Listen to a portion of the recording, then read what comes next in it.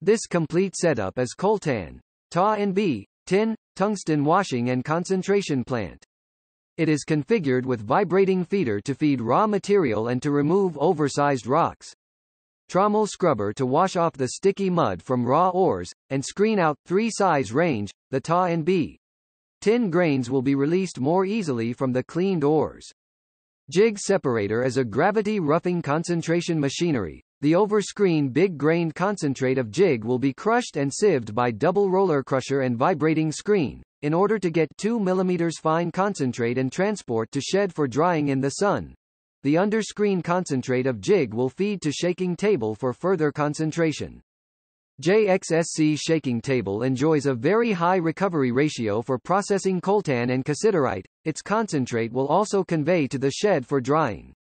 The final concentration equipment is the three-disc dry magnetic separator. Widely used for tin, cassiterite, coltan enrichment. It can separate four different minerals at one time. The concentrate grade can reach 60% minus 70% by using this separator.